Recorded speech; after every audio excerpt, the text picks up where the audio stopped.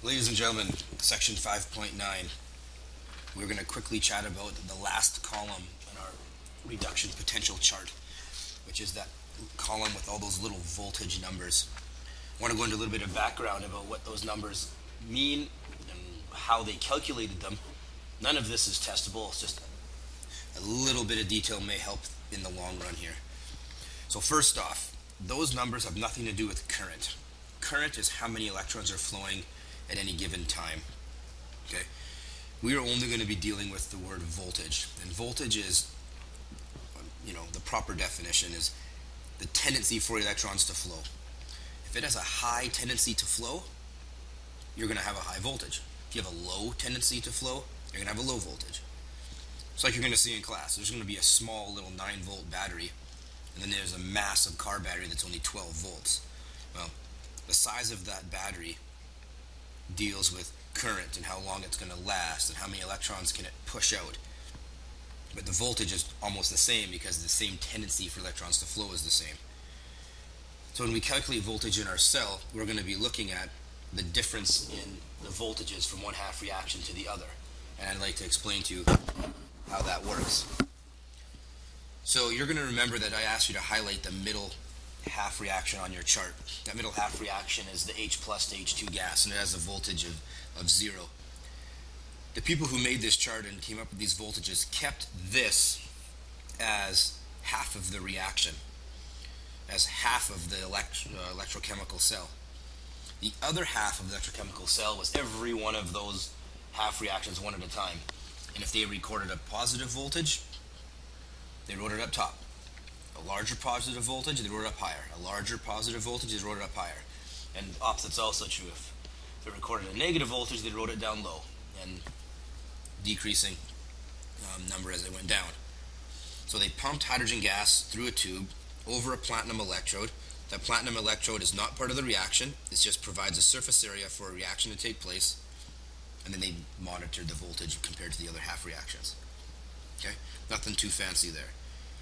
So those voltages are from really, really big to really, really small.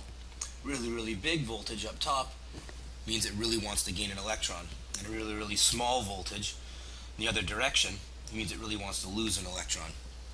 And what we need to do is find the overall voltage of the cell. Now there's a lot of blanks in your notes. You can jot this down and you can pause it if you want, but I, I don't think you're going to need to once we do once we do another example. So here's my first example. Very common question, typical battery in Chem 12.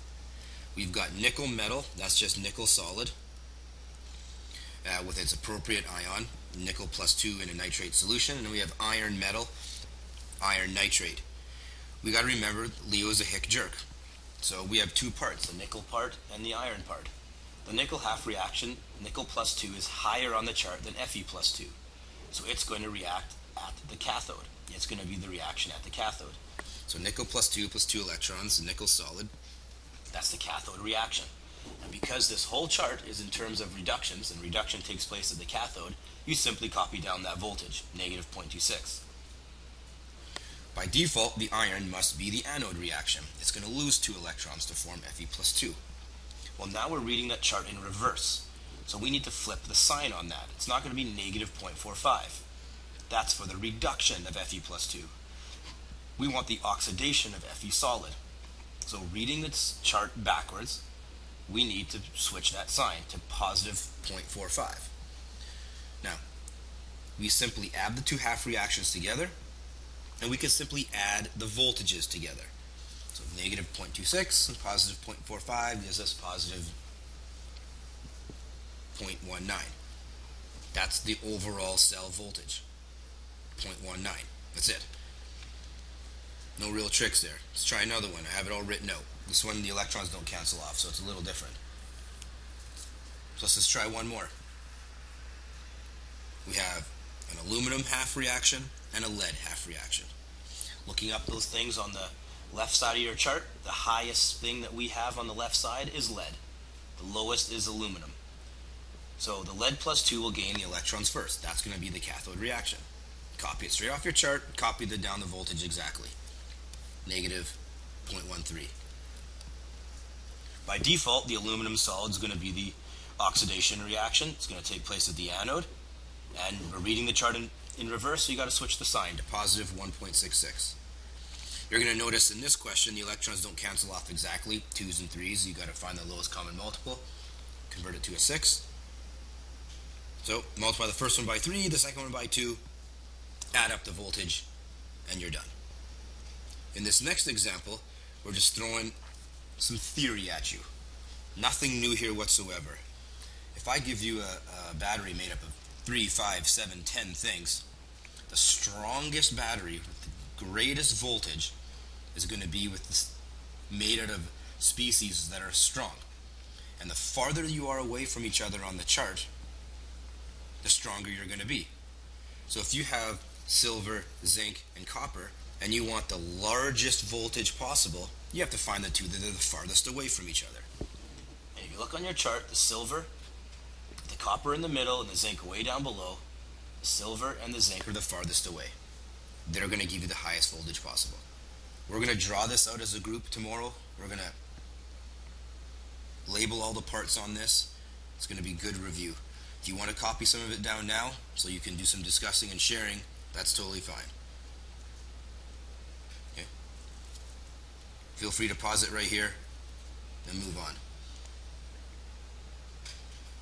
The opposite question can also be asked if you want to find the lowest voltage. Well, all you simply need to do now is find the two that are the closest together.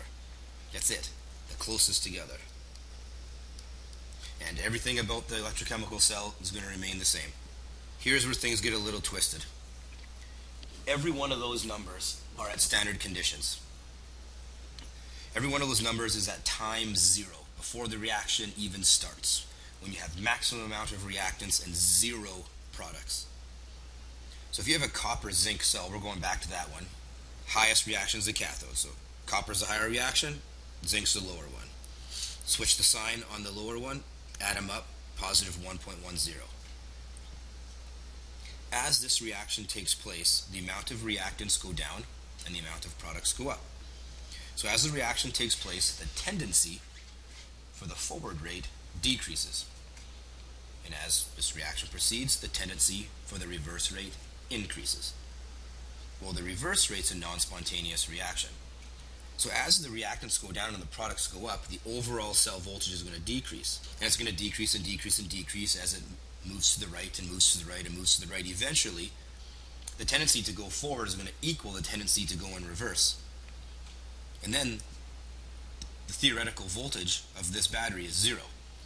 There is no tendency for the reaction to flow, the electron to be created and lost, when the forward rate equals the reverse rate.